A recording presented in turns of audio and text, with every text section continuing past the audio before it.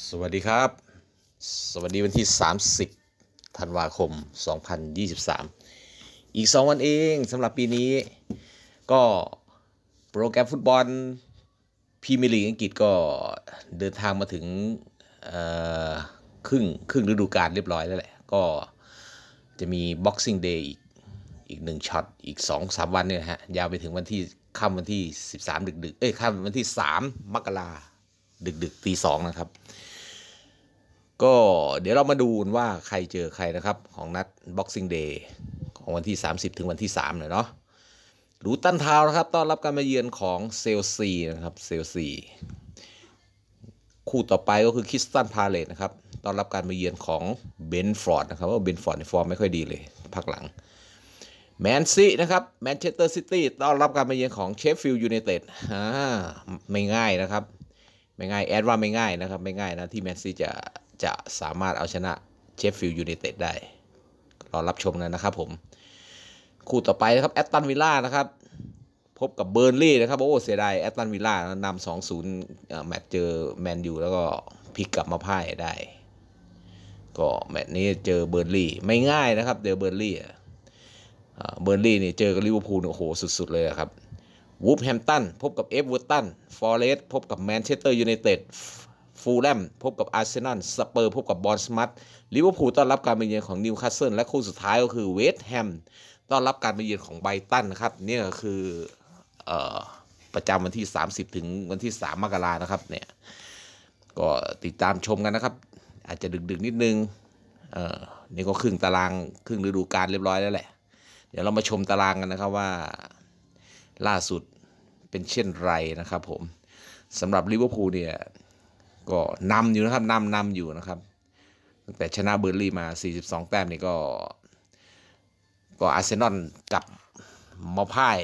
เวสต์แฮมตารางก็เลยออกมาเป็นแบบนี้ครับลิเวอร์พูลนำเป็นที่1นะครับแข่ง 19 ชนะ 12 เสมอ 6 แพ้1นะฮะมี 42 แต้ม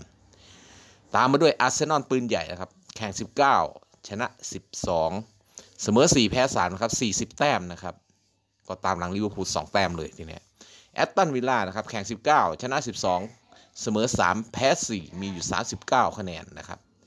แมนเชสเตอร์ซิตี้นะครับแข่ง 18 ชนะ 11 เสมอ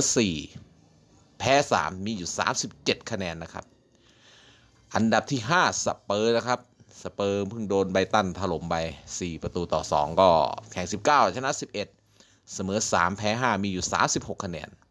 ตามมาด้วยเวสต์แฮมนะโหกระโดดจากกลางตารางเลยครับขึ้นมาอันดับที่ 6 แข่ง 19 ชนะ 10 เสมอ 3 แพ้ 6 มีอยู่ 33 คะแนน ตามมาด้วยแมนเชสเตอร์ยูไนเต็ดนะครับปีศาจแดง แข่ง 19 ชนะ 10 เสมอ 1 แพ้ 8 มีอยู่ 31 แต้มนะครับไบรท์ตันนะครับไบรท์ตันเนี่ยกระโดดขึ้นมาแล้วแข่ง 19 ชนะ 8 เสมอ 6 แพ้5มีอยู่ 30 แต้มนะลดหลั่นกันลงมานะครับนิวคาสเซิลเชลซีก็อยู่กลางตารางเช่นเดิม ตามมาด้วยวูล์ฟบอร์นมัธฟูแล่มเบรนท์ฟอร์ดคริสตัลพาเลซมาดู 3 4 5ลำดับสุดท้ายนะครับน็อตติงแฮมฟอร์เรสต์เนี่ยจะเริ่มฟื้นนี่แหละตั้งแต่ได้ได้นูโนโค้ชใหม่ โค้ชเก่าจากวูล์ฟนะฮะมาคุมสเปอร์อยู่พักนึงแล้วก็มาที่ฟอเรสต์โอ้เริ่มเริ่มชนะแล้วแอดเห็นเนี่ยเออฟอร์มดีมาตั้งแต่แต่สองแมตช์ที่แล้วเลยแหละ ฟอร์มดีมาก ส่วนลูตันนะครับลูตันเนี่ยก็ยังต้องต้องเก็บอย่างต่อเนื่องนะเก็บให้ได้สามแต้มอย่างต่อเนื่องถึงจะหนีโซนตกชั้นได้เบิร์นลีย์นะครับก็ยังอยู่อันดับที่ 19 อยู่ก็ 5 นัดหลังเนี่ยเก็บได้ 4 แต้มเชฟฟิลด์ยูไนเต็ดนะครับ5นัดหลังก็เก็บได้ 4 แต้มเช่นกันนะครับ ก็รอรับชมกันนะครับผมสำหรับปีนี้ก็จะมาจบอยู่ที่ตาราง